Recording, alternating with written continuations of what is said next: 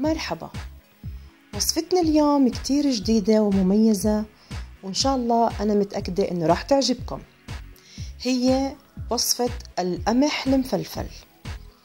آه، درجة العادة إنه آه، بموسم عاشوراء إنه كتير كتير بلدان وكتير ناس بيحتفلوا بطرق مختلفة وإنه بيكون بطل الاحتفال هو القمح. آه، القمح كتير مفيد جدا سهل الهضم كمان في عناصر غذائية كتير مهمة.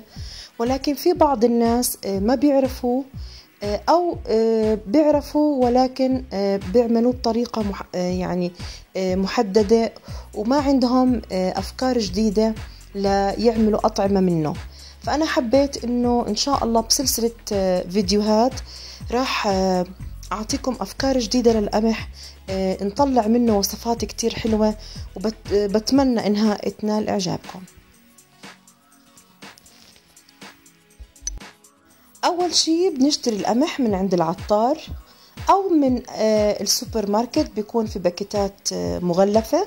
فسواء بباكيتات مغلفة أو من عند العطار آه، رح ننظفه من الأتربة ومن الأوساخ ورح نغسله بالمي ونكب ميته مرة أو تنتين أو ثلاثة لحد ما تصير صافية. بعدين بنغلي مي وبنغمر القمح فيها. وبنتركه 12 ساعة أو ليلة كاملة. تاني يوم بنكب المي اللي كان القمح منقوع فيها وبنغسله بس آه، آه، دور واحد.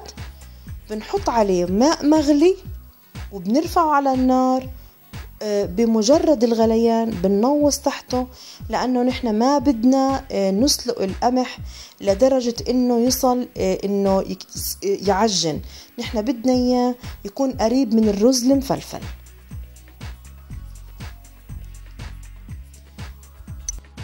آه، بدنا ننتبه إنه القمح لما نسلقه على الغاز لما نحطه على النار إنه المي آه، تغمره بس آه، شي 2 سنتي يعني ما ما نحط مي كتير لأنه ما بدنا الفايدة تاعته كلها تروح بالمي لأنه لسه حيكون في إضافات تانية فبدنا طعم القمح يكون مركز.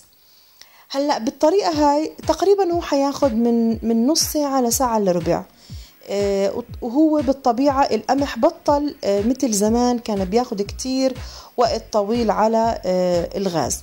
ولكن في بعض السيدات بيحبوا يستعملوا طنجرة الضغط. ما في مشكلة. طنجرة الضغط تقريبا يعني بتاخد من ربع لثلث ساعة بيكون القمح صار مستوي. بعد ما سلقنا القمح بنطفي تحته بنتركه ليبرد شوي وبعدين بنبلش نعمل وصفاتنا. وصفتنا اليوم هي القمح المفلفل. آه بعد ما آه انسلق القمح رح ناخد جزء منه. هي ما إلها عيار يعني هي إلها هيك بالنظر وإلها كل حدا ورغبته. آه رح ناخد شوي من من القمح آه طبعا ممكن آه نلاقي إنه القمح تشرب كل الماء ولكن ضل مفتح ومفلفل مثل الرز. أما إذا كان في آه، مي فبدنا نصفيه شوي من المي. لأنه آه، ما بيسوى نعمل الوصفة هاي ويكون عليه مي. بنصفيه شوي على جنب بمصفاي وبعدين بنجيب آه، معلقة معلقة سمنة أو معلقة زبدة وزيت. يعني أطيب شي صراحة الزبدة والزيت أو السمنة على الحل. آه، بنسخنها شوي بطنجرة غير لاصقة أو بمقلاية غير لاصقة. وبعدين بناخد القمح آه، يلي صفيناه وبنحطه على آه، السمنة اللي صارت ساخنة شوي وبنضلنا نقلب في القمح ونحمس فيه حمس كل ما حمسناه كل ما اتغلف بطبقة الزبدة أو السمنة وأخذ طعم طيب. آه، وهو على الغاز بنكون طبعا خفضنا الحرارة تحته. بنرش رشات خفيفة من المطيبات اللي بنحبها. قرفة أو مثلا فانيلا مستكة يعني هاي كلها بترجع لرغبة كل ست بيت.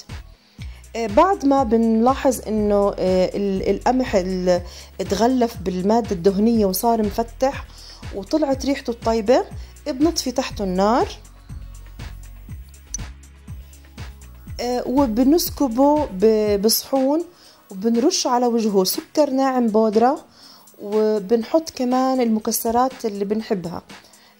لوز بندق جوز فستق حلبي.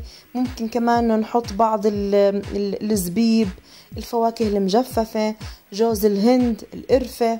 يعني كل الخيارات هاي واسعة. كمان ممكن بالتمر. آه، نفرم التمر قطع صغيرة وكمان نحطه آه، آه، مع مرافق للصحن ويؤكل بصحة وعافية وصدقا كتير شهي وكتير رح يعجبكم. بستنى منكم تجربوه وتعطوني رأيكم ولا تنسونا تتابعونا دايما على يوتيوب وإنستغرام وكل المواقع إن شاء الله تواصل اجتماعي وكل عام وإنتم بخير.